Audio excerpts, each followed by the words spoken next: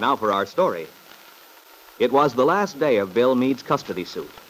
Peggy Douglas, on the witness stand, was submitting to the merciless examination of George Farnsworth, the Calvert's attorney, whose purpose was to falsely place the young girl in an unfavorable light, to create a doubt in the judge's mind which might influence his decision in the case. Aunt Mary's son, Randy Lane, and Lefty Larkin, the family's old friend, looked on helplessly, wishing there was some way they could protect Peggy, but powerless to do so.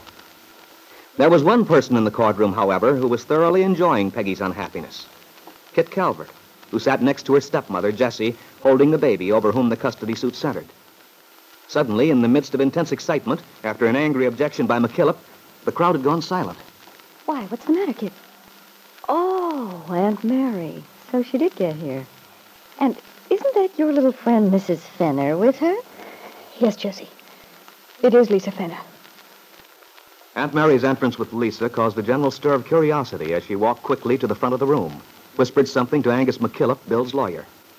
Angus looked completely astonished, then walked over and spoke to Judge Willoughby, while Lisa Fenner seated herself quietly. Her dark eyes, large in her pale face, watched Aunt Mary anxiously. As if drawn by force of the younger woman's dependence on her, Aunt Mary looked around and sent Lisa a reassuring little smile. A smile whose warmth and friendliness was noted by Jessie Calvert with some surprise. Did you see that, Kit? That's odd. I didn't know Mrs. Fenner and Aunt Mary were friends. Well, apparently they are. But I wonder what she's doing here. Why would Aunt Mary... I'm sure I don't know, Jessie. Why don't you wait and find out? Don't worry. I wouldn't miss this for anything. Something's in the wind. The way Mary Lane comes dashing in, goes straight up to McKillop. I'd certainly like to know what's up. Oh, for heaven's sake, Jessie, if you'll wait a minute, you'll find out everything you want to know. Goodness, kid. I don't see why you're so irritable. The case is obviously going your way. At least it is so far. You think so? Of course. You've nothing to be so grim about. If I were in your shoes, I.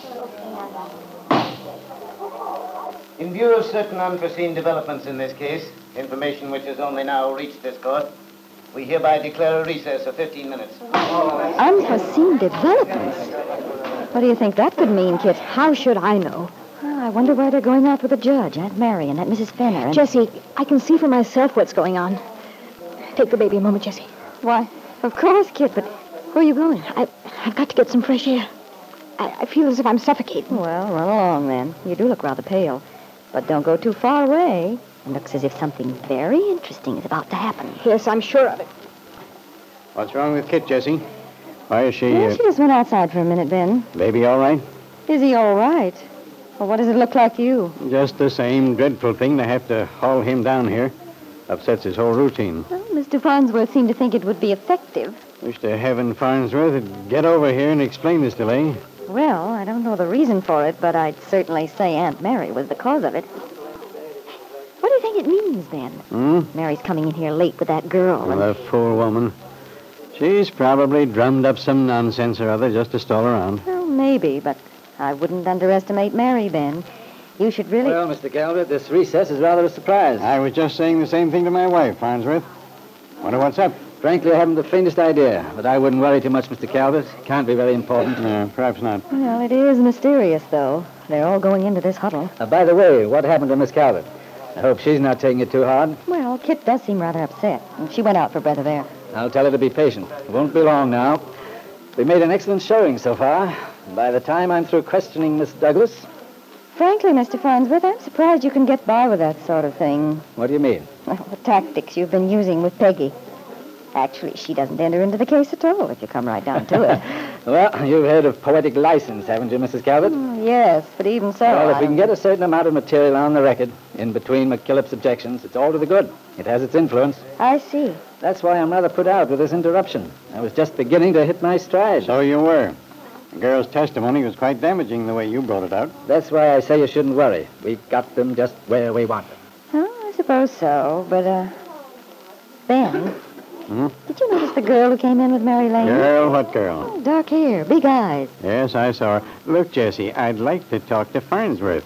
This is no time for irrelevant observation. Well, maybe it's irrelevant, but why did she go out to the judge's office with Angus and Mary Lane? How should I know? I don't even know who she is. Oh, that's right. You weren't at home that day. At home that day? What are you talking about? Oh, nothing, Ben. Nothing at all. I was just thinking. I see they've come in again. Well, it'll be just a matter of minutes now. The door of the judge's chambers opened. Lisa Fenner remained standing just inside, talking earnestly to the judge and McKillop, while Aunt Mary went up to Peggy Douglas, took her niece's hand in hers.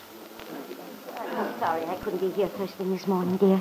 But the train was a little late. Well, just as long as you did get here, Aunt Mary. I was so afraid you wouldn't. Even though Lefty and Randy were here, I missed you. It must have been very distressing for you. Oh, Aunt Mary, it was awful. The sarcastic way he smiled, the things he asked me. Everybody would just have to think that there was something wrong between Bill and me. Oh, now, dear, you mustn't think that. The people in this neighborhood are all very fair. And most of them have known you all your life. Oh, but Aunt Mary, you don't know. The way he asked the questions, I almost felt guilty myself. You know that feeling you get, even when you know yourself that nothing's wrong, but you realize that people are thinking there is. I do wish I could have been here. You couldn't have done anything, Aunt Mary. I could see Randy and Lefty, their faces. They were so unhappy, and I could tell they wanted to help me, but they couldn't. I just felt all alone and helpless up there. Well, don't worry, dear. It'll soon be over. I just wish I could go someplace and hide. All the lovely talks Bill and I used to have, his plans for the future, our picnics and canoe rides, Farnsworth made it seem like they were things we shouldn't have done. And the times Bill used to stop by to see you and perhaps visit a moment on his way home from Camp Downing, he made those times seem like like secret meetings between us. Something we were doing behind Kit's back. Now, now, dear. You've been wonderful up to now. Be brave just a little longer. I'll try. Aunt Mary, Yes, dear. I don't understand about Lisa. Why is she... I, I can't explain now, Peggy. All right. But it seems odd. She didn't even say hello to any of us. Now she's sitting up there by herself. Well, Lisa's not feeling very well, dear. I think it's better not to disturb her at the moment. Oh? Well, of course, Aunt Mary, whatever you say. But everything's so mixed up. My head aches so. Aunt Mary, do you think I'll have to go back again? I'm so afraid I'll say something that'll make it all the worse for Bill. Well, don't worry about it, dear. Everything's going to be all right. I wish I could believe that. You must believe it, dear. Just trust me. I know what I'm saying. Oh, of course I trust you, Aunt Mary. Just that Mr. Farnsworth makes these ugly insinuations. I don't want to lose control, but I'm so afraid if it keeps up much longer, I might cry up on the stand. I'd hate to give them that satisfaction. Never mind, dear. You won't. Believe me. Court will please come to order. Your Honor, Mr. Farnsworth. with your permission, I'm ready to con- continue questioning my witness, Miss Peggy Douglas. In just a moment, Mr. Farnsworth. Unfortunately, I must refuse your request.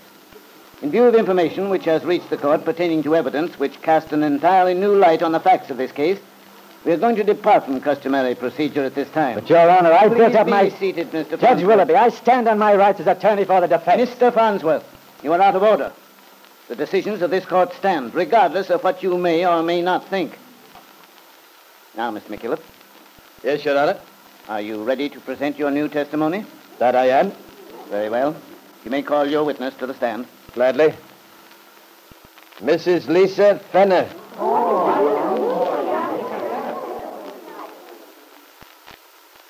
Lisa Fenner. The name meant nothing to Ben Calvert, and he saw no connection between Kit's absence from the courtroom and Lisa's presence there. But I wonder, Ben, if you aren't soon to learn the connection that exists between your daughter and the young woman who is about to take the stand.